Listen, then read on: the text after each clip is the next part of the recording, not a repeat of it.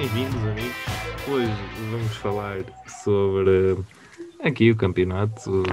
A jornada, a jornada trouxe dois empates a zero e algumas, algumas vitórias tangentes.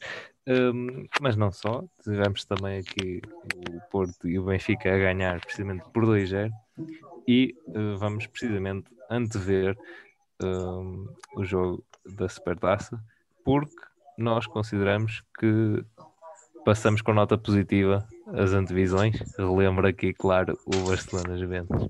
Eu sou o Diego Metelo. Eu sou o Francisco Caetano. Eu sou o Tomás Miranda. Eu sou o Rui Filipe.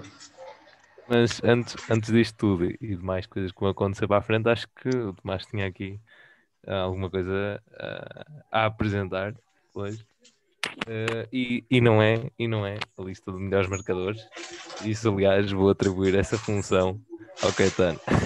É isso, tem que ir procurar. Vai, vai Tomás. É, é, faz aí barulho enquanto eu vou. Queres que eu procure? Estou com o telemóvel na mão, se quiseres. Já, já tenho, já, não te preocupes, Rui. Já, Pronto, então Aliás, a melhor, todos os melhores marcadores porque vem mesmo a propósito da música. É? Exatamente. Um, pronto, então nós devíamos ter feito isto na semana, na semana passada ou da última vez que nós gravamos, mas também acho que não faria tanto sentido porque o Caetano não esteve presente. Agora sim, uh, estando aqui os quatro presentes, vamos fazer aqui uma devida homenagem um, a Diego Armando Maradona com a nossa música uh, final do programa tocada aqui ao vivo por mim Uh, pronto, espero que gostem e vai ser só um pequeno enxerto para não ser muito aborrecido. Força, tu carrega-lhe.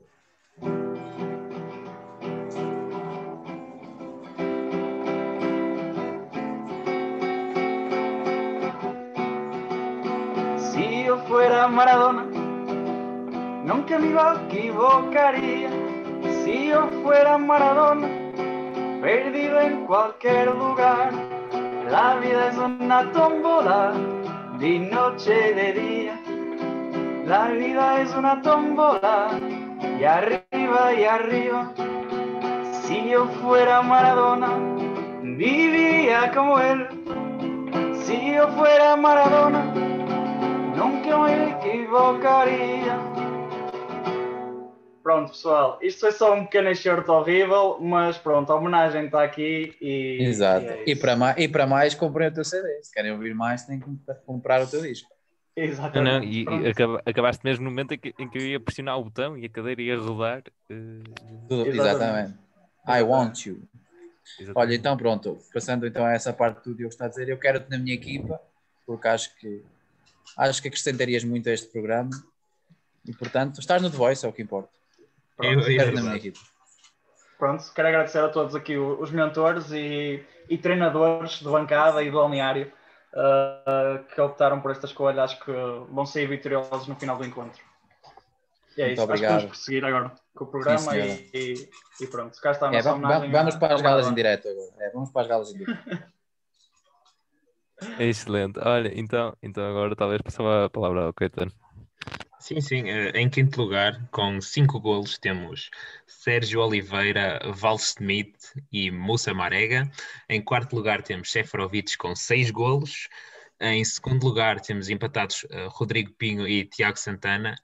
E finalmente, na lista dos melhores marcadores, temos Pote ou Pedro Gonçalves, para quem não gosta vai, de chamar Pote. Vai, Rui, faz barulho. Faz barulho. Potinho, Potinho. O nome dele é Potinho, não é Pote. Pote são são, são coisas que exato são coisas que surgiram depois são alterações à originalidade do artista o nome dele é Potinho desde os infantis desde os Benjamin já portanto é Potinho continua a ser Potinho para já quando fizer mais de 26 anos já pode ser um pote e quando fizer mais de 30 já pode ser um potão mas já ainda é um potinho muito bem e, e sabem o que é que fez 19 anos e terminou o sei, sim, senhor. Eu sei. Exato. Eu sei. Exatamente. Não sei, não. Não sei. Não sei. O Cameron Boys. Okay. Esta parte foi humor negro, mas também foi. Okay. não sei se yeah, vou fazer eu, eu, não, eu, não, ah, eu, não, eu não percebi a piada, mas vou ficar na minha ignorância porque acho que agora. Porque... Rui, fala do, fala do Sporting e fala do Pot, que acho que é um bom, bom, bom jogo também para começarmos a falar do Sporting Farense. Uh, Rui, diz aí o que é que te vai na alma sobre o Pote que no outro programa falaste pouco nele. Olha, eu acho, acho que foi, foi de muito mau tom do Sporting não ter deixado o Pote marcar aquele penal. Acho que o Pote devia ter marcado um golo neste jogo para, para manter a sua senda, mas uma vez que não foi possível, foi o Sporar a fazer uma panencada mesmo no fim, aos 90 mais um. É preciso ter uns, uns guizos, para não dizer outras palavras, do, do tamanho do mundo para marcar um penalti à panenca àquele minuto. Mas o Sporar fê-lo, o Sporting continua em primeiro e destaca-se também aqui, para além do bom jogo do Sporting, um fraco jogo desta vez de Pedro Gonçalves, que foi dos piores avaliados em campo, e um grande jogo, exatamente, o meu, o meu caro Tomás está aqui nos bastidores uh, a relembrar, mas um grande jogo de Ryan Gold, ou Gaúl, como preferirem chamá-lo. E, adorei, e... Adorei, adorei, a tua pronúncia escocesa. Exatamente, ah, já sabes que estou muitos anos na Escócia a aprender a gastronomia. Mas, mas sabes, ele, ele fez no outro dia uma, uma entrevista, acho eu, com, com, o Canal 11 e até fala, fala bastante. Era isso que eu, por acaso ia falar disso agora, ia dizer isso. Que Mas eu não sei que falar faz melhor, jogar a bola ou, o português? É, jogar bola em português, porque acho que uh, o futebol é uma linguagem universal, portanto, eu acho que ele, ele é bom quer em português, quer na, na linguagem universal que é o futebol. E portanto, destaco aqui então o bom jogo do Sporting, um, jo um jogo pronto, foi, foi uma derrota, mas não assim tão mal do Farense. E é um Farense que não é a pior equipa do campeonato, no entanto está nas duas piores em termos de classificação. Mas creio que não vai ser o Farense a descer, acho que o Farense não vai descer. E sei que ainda é muito cedo, mas acho que, acho que o Farense tem, tem mais do que, do que argumentos para, para subir por aí. Sim. E nesse, nesse espírito de solidariedade, uh, Rui, Coates ainda tentou dar uns pontinhos ao adversário à cotovelada, mas uh, o, VAR, o VAR decidiu não os atribuir. É verdade, sim, sim. Foi ali o Gilberto, mas isso vamos eu, lá depois. Isso, isso eu vou só fazer um pequeno parênteses, que é, eles só estavam a obedecer, a obedecer até me troco nas palavras, às normas da, da DGS. Agora com o Covid tem que ser a cotovelada. A cotovelada, claro. O, o, tipo, o tipo do Forense ele dá um beijinho, ele não, não. Olha, então, e o que é que me dizem do Portimonense, que acabou por ter um bom resultado frente ao Famalicão, no entanto, continua em, em, em último, depois do empate a zeros. Sim, eu posso, posso falar aqui do Portimonense. Um, Pá, eu acho que sinceramente o Portimonense é. Lá, lá, está, continua um bocado na cena da, da época passada. Porque lá está, uh, tem muita qualidade no, no plantel, mas não consegue ir para além dos lugares uh, pronto, embaixo da tabela e acho que tem sido muito, muito isso que, que se tem pautado, tem pautado este ano, mas lá está, um empate com o Famalicão é sempre positivo pronto, e aqui também recorro, recorro, mais uma vez aqui aos meus dados estatísticos dos meus apontamentos e dou aqui o destaque ao, ao Luquinha Canteiro, não sei se, se é assim se pronuncia o, o apelido de, deste jogador. Uh, pronto, seja em escocês, seja em que língua for, mas há que destacar a exibição. Uh, pronto, e do lado do Famalicão, uh, penso que é só mais um resultado de encontro a época que eu esperava que o Famalicão fizesse, porque normalmente é o que acontece, porque as equipas que numa época vão longe, depois na a seguir uh, costumam ter sempre um, um, pior desempenho. Já aconteceu com o Arouca, já aconteceu com o, com o Passos e, e pronto. Com Chaves. Com, com Chaves, faz, um, faz um brilhante sexto lugar quase sexto ao alcançar a Europa. E depois desce. Depois, depois desce, categoricamente Exato. também. Exato. É, mas é muito isso. Portanto, acho que este jogo foi um pouco, lá está, um espelho de duas equipas que já, lá está, estão a ter uma época previsível. Realçar aqui mais uma vitória, precisamente o Carvalhal a vencer uma equipa que já, que já treinou, que conhece ah, bem. O jogo, o jogo que acabou de acabar. Exatamente. Exatamente. Uh, acabou de acabar. Mas, portanto, só, só queria aqui realçar que não perde terreno. Sim, por acaso. Agora e tá... isto, isto ia-me levar a outro caminho, que era. Um, estão ainda, um, portanto, conseguem manter a sua posição face ao Vitória. E eu queria trazer o jogo do Vitória aqui à bala por causa do gol do, do Coreia, das assistências. É verdade. E do jogo do Coreia. Se me permitirem, uh, assim, parece que tirar Tiago do comando técnico do Vitória foi uma decisão genial porque ele claramente não fazia a mínima ideia do que é que estava lá a fazer, não só pelo Quaresma, mas também pelo Estupinhã, que estava lá encostado no Campeonato de Portugal a fazer minutos na equipa B e agora em dois jogos já tem três golos. Portanto, isso é, isso é uma coisa de Zaidu. Acho que é uma coisa sim, de Zaidu. Acho, acho, a ascensão meteórica. Sim, é eu acho, acho, que o problema não estava no plantel. Nós, nós comentamos várias vezes que o, o Vitória se tinha reforçado bem. Sim. E, e, no, e está-se a notar agora, porque claramente ter Quaresma no banco a encher chouriços uh, é diferente de ter Quaresma no, no campo a distribuí-los, não é? Exatamente.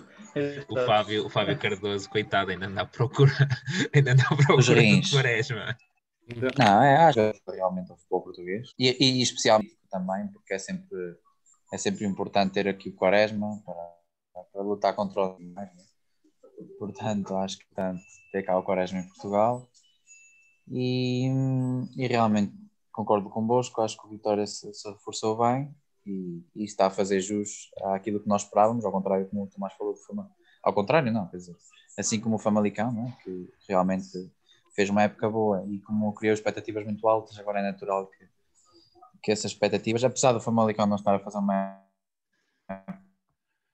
lá, está em natural que consiga alcançar as expectativas criadas e o Vitória acho que está a alcançar as expectativas que nós criámos. Está atrás do Braga, que é uma equipa com maior orçamento, mas atrás dos chamados quatro grandes é a melhor equipa. Exato. Ora, e, e essa, desculpa, Diogo, só uma, uma ponte muito rápida. Um, eu acho que também para aqui para a Vitória, também realço o Vitória e realço o Passos também aqui, porque acho que tem sido, para além dos quatro grandes, as equipas que se têm destacado mais, e isto também para fazer um bocadinho a ponte com o que se passou e também dar os parabéns às, às exibições destas duas equipes na taça da Liga. Uh, o Passos e o Vitória acho que também estiveram bastante bem contra o, contra o Porto e com efetivamente, e quase que o, Vitória eliminava o dois vice no Dragão, que acabou com uma, com uma bola nos ferros, mais uma vez. Portanto, desculpa, Diogo, força. Sim, eu, eu ia precisamente realçar o Passos e o ciclo, e o ciclo de, de jogos com, com, os, com os três da frente, que não, não é fácil, e ia precisamente perguntar, uh, também já passou mais algum tempo, portanto já podíamos analisar em nível do, dos reforços do Boa Vista, que conseguiu eh, ganhar um ponto frente a um Passos que está forte. Portanto, não sei que. Porque agora também há, há esta agitação toda no Boa, no Boa Vista. Não sei se o Caetano ou, ou o Tomás querem comentar. Uh, Tomás, não te importares. Ah, eu posso comentar. Eu okay, era só. Não, começa tu, é isso mesmo. É isso okay. que eu estou a dizer. Pode tu começar, porque eu já tinha Senhora, falado. É, senhoras primeiro. Obrigado. Uh, sim, pelo que soube, uh, parece que o, o novo dono do Boa Vista está a ter problemas, agora no, com o Lilo. Portanto, essa situação também pode ser problemática aqui, mas o Boa Vista tem claramente equipa para não descer. Não sei se você. O que é que falta? Porque nós, nós tínhamos falado, principalmente no jogo contra o Porto, acho eu é que ah, sim, eram todos de nacionalidades diferentes. E... Exato, é assim, eu não sei se eles ainda vão a tempo, porque apesar de tudo, as distâncias entre, entre a zona média da tabela não costumam ser assim Ainda faltava. Muito grandes, não é? O Boa Vista tem de momento 9 pontos e se tivesse mais 2 pontos, estava em oitavo. Uh, portanto. Sim, ainda é tudo, ainda é tudo muito no início. Insiste em Sim, carreirar mas, mas era das com mais gols sofridos. Exatamente, mas o Boa Vista começou muito mal. Não, eu, eu acho que só, só faz falta uma coisa. Eu só acho que ao Boa Vista faz falta uma coisa. Que é Ricardo Costa. Ricardo Costa é petit. Com o Ricardo Costa e Petit não havia quem os batesse. Olha, o, o, Adil, o Adil, o Adel Rami na defesa, acompanhado de um Ricardo Costa, treinado por um Petit, lindo. E, e com o Fari, com o Fari, que já tem, já tem os seus 40 e muito, na frente, não havia quem os parasse. Era lenha cá atrás e lá à frente gol. E lenha no banco, se não se punham finos. E depois, caso ainda não resultasse com o Petit, a melhor solução seria naturalmente ir buscar o Sapinto ao Brasil. É, parece uma boa conjugação. Parece uma, uma excelente ideia. Exatamente. Olha, então, e agora avançamos para, para a supertaça. Uh, e começar pelo, pelo Rui. Qual é a tua expectativa agora neste jogo que o Benfica não pode contar com o Pizzi? Oh, eu, depois do que tenho visto este ano, do que vi no final do ano passado, eu já não vou com expectativas nenhumas para este tipo de jogos. Eu hoje vi uma piada qualquer que agora já nem me lembro bem. Que ir para um jogo destes e ser adepto do Benfica é como ter com uma namorada que já não beija há 10 anos e já estar automaticamente a pensar que ela vai estar com outro quando o apanhas. Portanto, é, é tu estás realmente com muita expectativa, mas, mas sabes que provavelmente vai dar asneira, que, é, que é o que tem acontecido nos jogos do Benfica. Eu acho que uma grande diferença do Benfica para o Porto é que, por muito que o Porto não esteja a praticar o seu melhor futebol, o Porto tem mais querer e mais raça que o Benfica. Os, os, os jogadores do Porto, se for como é que eu te explicar? Se tiver que ser, comem os jogadores do Benfica amanhã. Ou na quarta, ó. É comem os jogadores do Benfica e. É amanhã. É amanhã na quarta. Hoje na é quarta para pessoas que estão com 12 horas a mais, Exato. que no Havaí. Exato. E assim será depois na quarta-feira. Para nós que estamos em Portugal, ainda realmente na terça.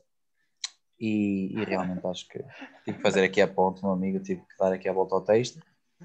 E, e, e é isso, não tenho grandes expectativas. Não tenho grandes expectativas, até porque o grande jogador, o melhor do mundo, o Pizzi, não vai jogar, que é o meu jogador. Olha, e já agora, já agora, manda aí um, um bitite de um, de um lance provável, que nós nunca fazemos isto. Manda aí Verdade. um, bitite. Então, na baliza, pai, na defesa, defesa esquerda, nosso, e depois que estás no céu, é a defesa central, e por aí fora. não, agora a falar a sério. Não, hum, olha, na baliza, Odyssey, naturalmente. Depois, até porque fez uma grande exibição agora neste último jogo contra o Guimarães.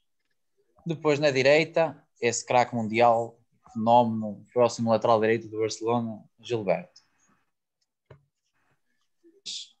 Vertonghen e, e, e Pai Nosso, mais uma vez. E do outro lado, Otamendi. Não sei se ele vai apostar no Otamendi, porque ele teve dois jogos de fora, mas eu apostava ainda assim, se calhar no Otamendi vez do Jardel, não sei.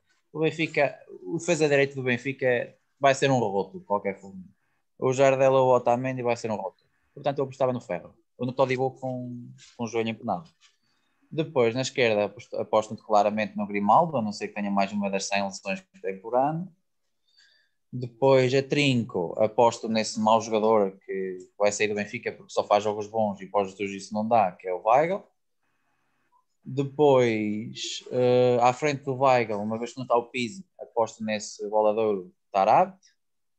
Uh, depois, mais, lado direito, o Jesus fez a vontade aos adeptos e meteu o Pedrinho no último jogo, mas o mau jogo do Pedrinho deu-lhe razão a ele e agora quem lhe dá razão a ele nunca lhe atira, portanto ele vai meter o Rafa, apesar de eu continuar a achar que o Pedrinho é muito melhor. Do lado esquerdo vai jogar um mais cansado Everton, aquele, homem só vai parar quando morrer. E na frente vai jogar eh, talvez o Darwin, porque os Jesus tinham feito isso também pelo Darwin, apesar de ele ser bom jogador, mas não gostar de chutar a baliza. E atrás dele acho que vai jogar o Seferovic, porque o Jorge Jesus não gosta muito de gente que joga bem a bola, portanto vai deixar o Smith no banco. E é isto o meu prognóstico. E agora, e agora do lado do Porto, Caetano? Uh, Marchetti na baliza. Também há dúvida, há dúvida, há aqui três dúvidas, não é? Que é Pepe, Otávio e Corona, mas, mas dentro Sim. Tu Pai, vou apostar. Estás à espera. Uh, Manafá na direita, Zaido na esquerda. No centro, Pepe e Mbemba. Acho que o Pepe joga. Com máscara. Com máscara. E não é cirúrgica. Ainda é mais assustador. Com as duas. Com as duas. uh, dá uma máscara, aquilo é uma saiba, rapaz. Uh, depois, no, no meio campo, vai jogar com o... Vai jogar com o Otávio na esquerda, Corona na direita e depois uh, no meio Uribe e, e Sérgio e na frente com o Marega e o Taremi. Meu prognóstico. Vamos ver. Depois temos que vir aqui relembrar a ver se acertar. Achas que, que só com o Maré? Epá, não sei. O, o 4-3-3 esta época não tem corrido muito bem. Acho que ele para pressionar vai querer os dois. Ah, não precisa. Acredita que ele não precisa muito de pressionar. Para a equipa do Benfica basta, basta fazer umas coceguinhas que marcam. Pá, Olha, uma coisa é certa. Uma coisa é. Ah, sim. Uma coisa é certa. entrar e, e entrar a ganhar, de certeza. O Benfica agora dá sempre o primeiro golo, que é para depois ter que correr atrás do resultado. Mas Pá, o Porto um também dá. O Porto, o Porto também dá. Ui, dá então, então vai dar 0-0, vai ser como aquelas pessoas que estão a entrar duas na porta e dizem, entre você. Não, não, não faz favor, entre você. Não, não, faço questão entre você. Portanto vai ser igual, vão, vão estar a ver quem é que sofre primeiro. Não vão ser dali e vai ficar um 0 eu, eu já não me lembro quando é que o Rui disse isso pela primeira vez, mas depois fez tanto sentido. E era, era, exato, era sobre hum, quem é que ia perder mais pontos até ao final do campeonato. Ah, na, exato. Na temporada sim, sim. passada. Exato, exato, exato. E este ano olha que vai pelo mesmo caminho. Eu estava com tantas expectativas para esta época, por causa dos reforços, de Guimarães, por visto. Mas é, acho que vai ser mais uma época para esquecer, futebol português. A não ser na, nas competições europeias, que graças a Deus passámos os russos e já estamos quase a comer o rabo aos franceses. Exatamente. Olha, e por falar em, em marcar passe, se calhar aqui temos várias situações a nível internacional. Lembro-me do, do Tottenham, que em 5 ou 6 dias passou de primeiro para, para sexto classificado. Eh, assim, uma, uma queda abrupta, se bem está a 6 pontos atrás do, do Liverpool. E também um, da parte da, da Juventus, que acaba de perder por 3-0 e e está agora em já casa. a 7 pontos do, do Milan. Uh, curiosamente. Ah, Diogo, e outra coisa, não te esqueças porque a decisão que garantia a vitória deles frente ao Nápoles foi revogada agora, portanto. Exato, ainda, ainda podem perder esses 3 pontos. Exatamente. São 3 golos para o Ronaldo. É para ele fazer o 3-0. Aliás, porque o Ronaldo, o Ronaldo que tinha igualado um, aquele recorde uh, de jogador como é que era? O jogador que tinha marcado mais gols era 33 numa só época de ano civil. Agora ele podia ter ultrapassado, mas 3-0 não, não deu hipótese. Portanto, tchau. Chapéu. Sim, sim. E olha que por falta de vontade, te garanto. Mas realmente a Juventus é muito, muito fraquinha, tem processos muito simples, muito rudimentares, sofre facilmente golos, não é difícil fazer golos à Juventus. O Barcelona só não fez porque tínhamos um Buffon inspirado e, e, o Barcelona também não é o Barcelona de outros tempos. Portanto, é expectável que a Juventus vai, vai perder hoje e vai perder mais pontos, naturalmente. Há esperança que perca os dois jogos da Champions. Ah, para mim, é assim, enquanto português, prefiro, prefiro realmente que passe o Porto. Não,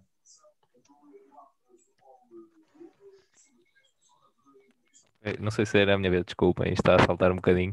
Eh, eu ia dizer sobre os 6.2 segundos do Rafael Leão, o gol mais rápido na Série A, que, que efetivamente é ilegal, porque ele começou com meio pé uh, do lado contrário uh, do meio campo, mas o VAR não podia intervir porque há essa regra de, do VAR não, não julga o início do jogo e, portanto, é, o gol é, é, é válido, digamos Ai, assim. não julga, então eu posso, eu posso distribuir pancada no início do jogo se ninguém me vir.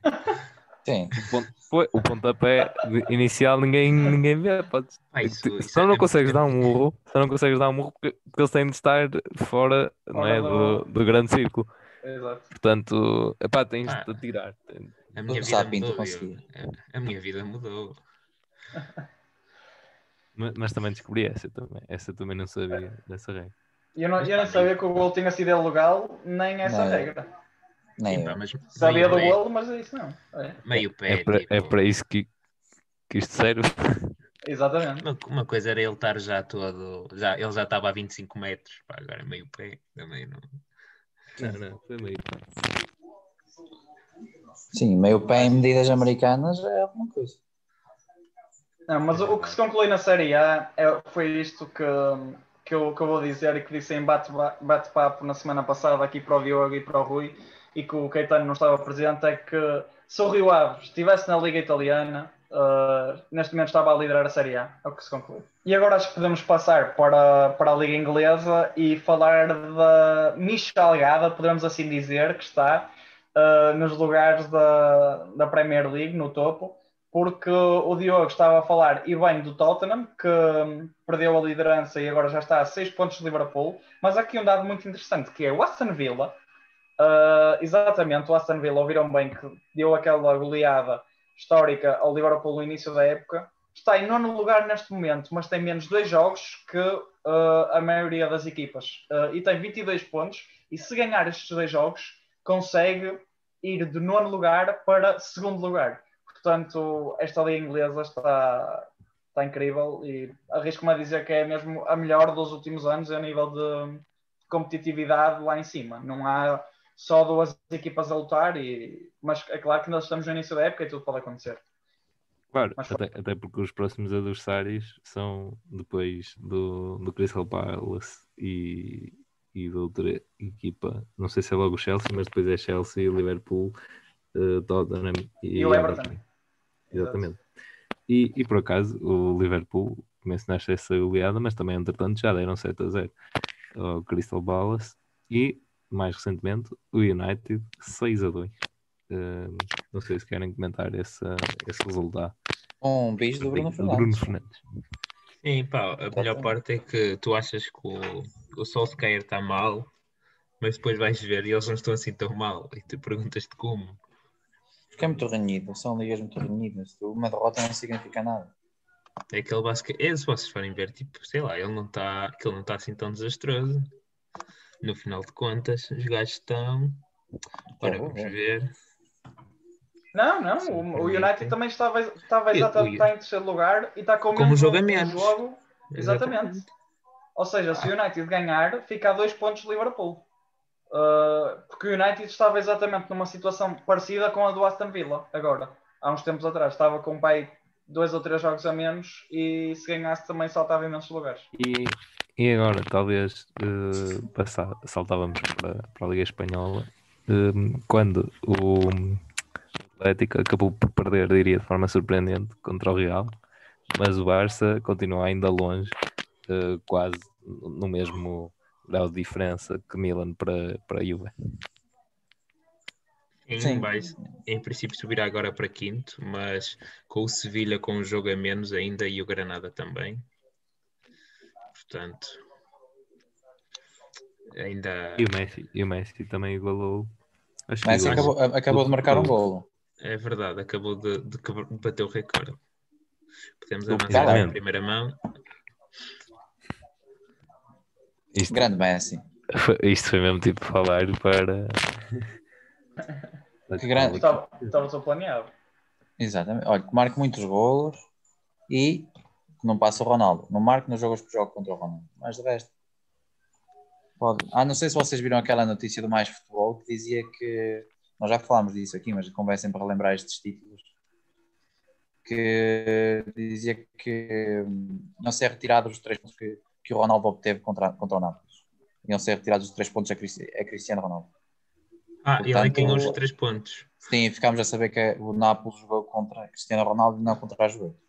Exato. Ou seja, Portanto, a Juventus vai então, então peço desculpa, eu tinha dito há bocado que eles iam ficar com menos três, mas afinal não. Eu, é não, é continua igual. O Cristiano Ronaldo é que fica com menos É que fica com menos três pontos na tabela, ok. Exatamente, exatamente tudo explicado, né? Pronto, okay. por, acaso, por acaso, isso, é, isso era interessante, não sei se existe essa, esta, essa estatística, mas era ver, aliás, dá para ver, não é? O número de vitórias de cada jogador ao longo da carreira. Sim. Depois em fase, tipo, marca autogol e dá, tipo, derrota, devia contar. Ok, não, foi só. Sim, hoje em dia, hoje em dia há estatísticas para tudo. Hoje em dia há estatísticas. Não seria descabido. É verdade.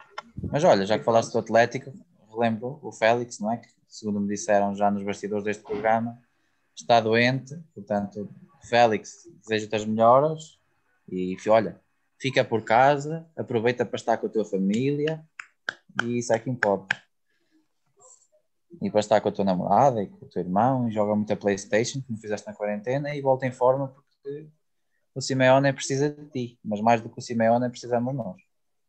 E já, e, já está, e já que estamos a falar de um jovem prodígio português, uh, só realçar que o Fábio Silva uh, acho que se tornou o, o segundo, o primeiro ou o segundo jogador mais jovem a marcar na Primeira Liga.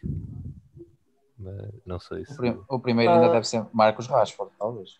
Eu sei que ele, ele se tornou o primeiro mais jovem a marcar pelo Wolverhampton pelo e que ultrapassou uh, o recorde do Ronaldo na Premier League. Um, mas isso são as únicas coisas que eu sei, mas Sim. tenho a certeza que estão 100% certas. Sim, pá, provavelmente o mais novo de sempre a marcar na Premier League, se não será para aí o Rooney ou.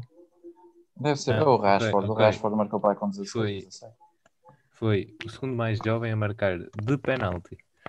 Um, Michael Owen uh, tinha 17 anos em 1997, quando marcou também um penalti. Portanto, esta, esta estatística é de penalti. Esta é uma estatística, é mais uma vez, uma estatística extremamente interessante, mas tem aqui os cinco mais jovens de sempre a marcarem na Premier League. Se, se, Olha, espera aí, espera aí, ele bateu o recorde do Ronaldo. Cara, Estamos aqui num duelo de estatísticas, um duelo de estatísticas okay. ao vivo, Caetano e Diogo, a ver quem sabe mais estatísticas. Está aqui. Os, é, é, os mais jovens de sempre a marcar na Premier League. Em quinto lugar temos Michael Owen, com 17 anos, 4 meses e 22 dias. Em quarto, Fabregas, que tinha 17 anos, 3 meses e 21 dias. Em terceiro, Rooney, com 16 anos, 11 meses e 25 dias. Em segundo lugar, James Milner, que tinha 16 anos, 11 meses e 22 dias. Ou seja, menos 3 dias com o Rooney. E em primeiro lugar, James Vaughan, que eh, nunca ouvi Esse falar, mas tinha pois. 16 anos, 8 meses e 27 dias. Certo, eu ainda andava, nas, ainda andava no secundário, ainda andava a fazer testes de biologia nessa altura. Nem, na educação, nem na educação física me deixavam jogar a bola, quanto mais na Premier League. Tinha que jogar sempre bola e nas aulas de educação física. Ah, e entretanto, já agora, uh, Lewandowski leva 17 golos na, na Bundesliga em 13 jogos. Creio.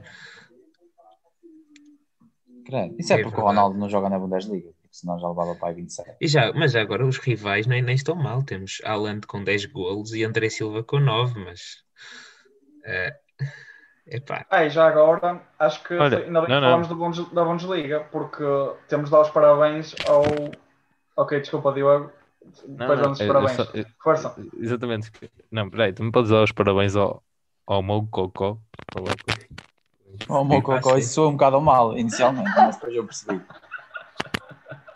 Porque isso com o sotaque do Porto parece assim um bocado ao meu Cocó.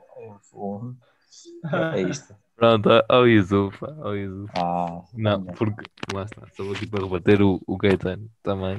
Mas se quiser saber coisa que foram os jogadores mais jovens a marcar na Bundesliga. Estamos em guerra. O, Força. o, o Wirtz, o Florian Wirtz, com 17 anos, 1 mês e 3 dias, mas em apenas meio ano aparece Yusufa e o apelido que já referi, com 16 anos e 28 dias. Portanto, cá está eh, um jovem prodígio. Agora, já podem continuar com a parabenização, mas só ia referir sobre o da Best, aquela postura do Ronaldo. Exato, é isso. Pronto, é dar os parabéns ao, ao melhor jogador do mundo em 2020, que foi nada mais, nada menos que Robert Lewandowski. Uh, e acho que, uh, pelo menos a nível pessoal, acho que é mesmo um prémio muito merecido, uh, porque venceu tudo em 2020. Foi o melhor marcador da, da Champions, o melhor marcador da Liga Alemã, marcou uma quantidade absurda de golos mas melhor lá TikToker. está também dar os para...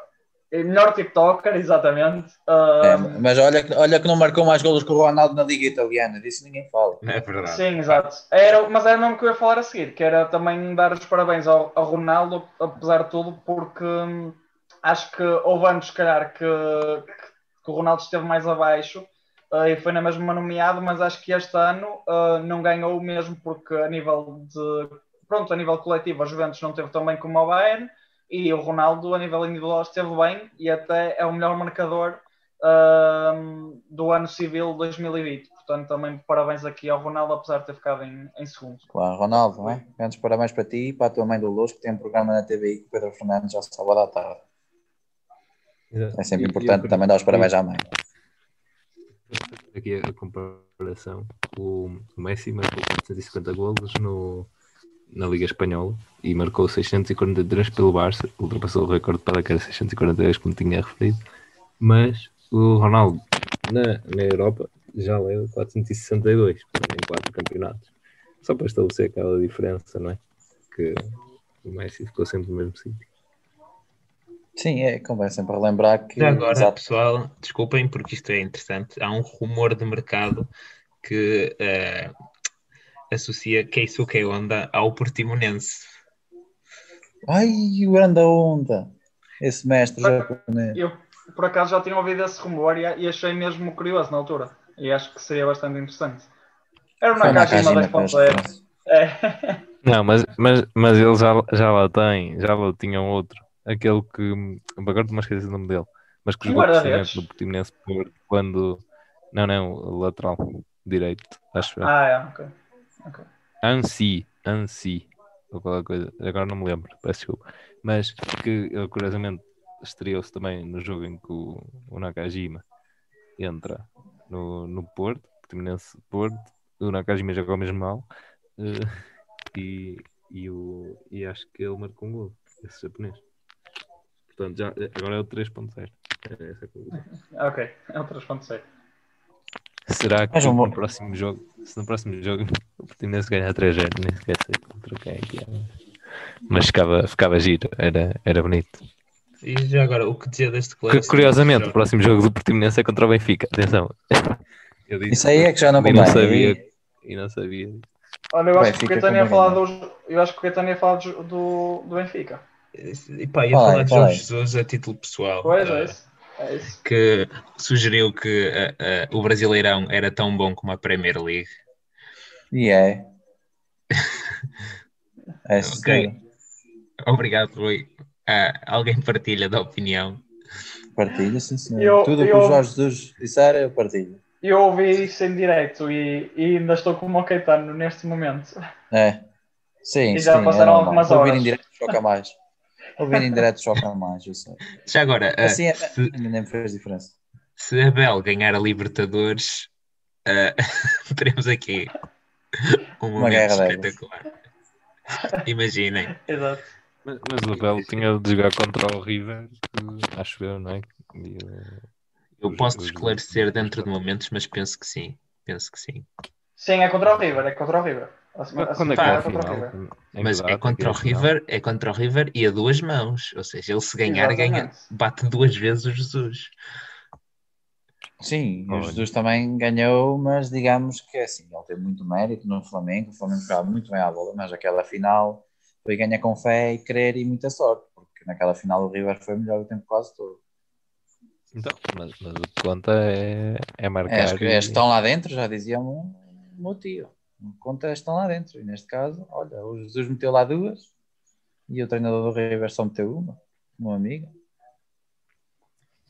Bem, olha, depois a ser tempo falamos da, da taça da Liga, que se vai jogar em, em Leiria.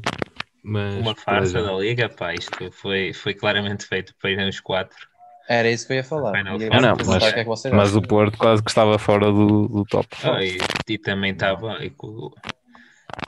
Era, quer dizer, era a oitava jornada. Não sei, mas este ano é diferente. Mas eu concordo. É uma taça um bocado estúpida porque. É, normal, é, é disputado.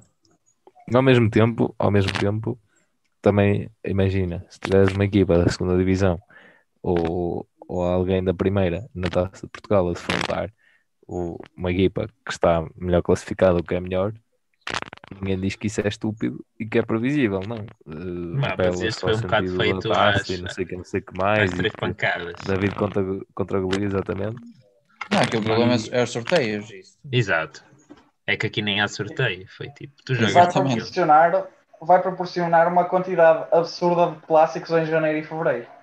Por causa da taça da liga. Porque se não estou em erro, uh, vai haver um, um, Benfica Sporting nas proximidades e depois lá está.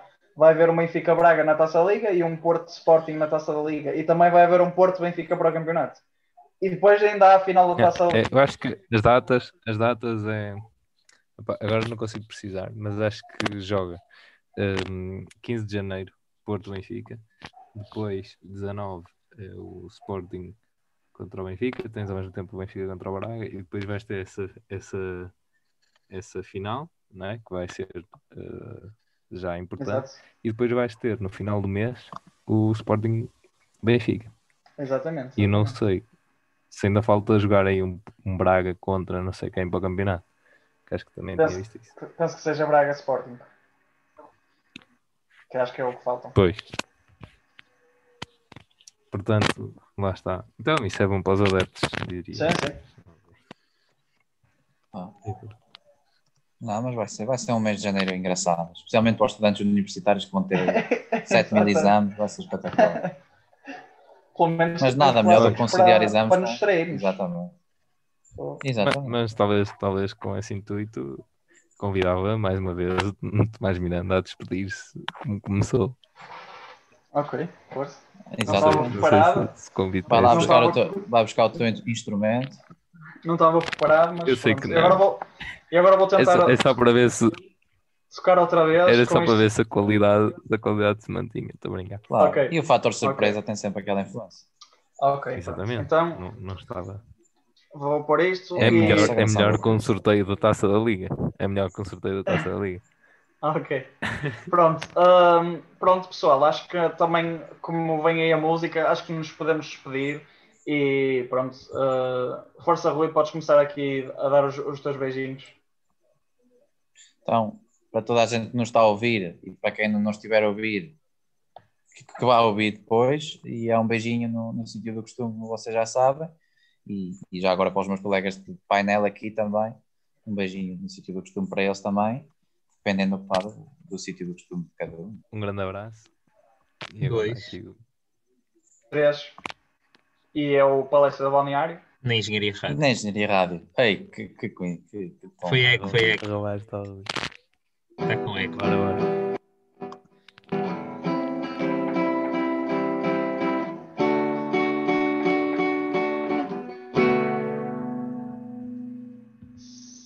yo fuera Maradona, viviría como él. Si yo fuera Maradona, frente a cualquier portería. Si yo fuera Maradona, nunca me equivocaría. Si yo fuera Maradona, perdido en cualquier lugar.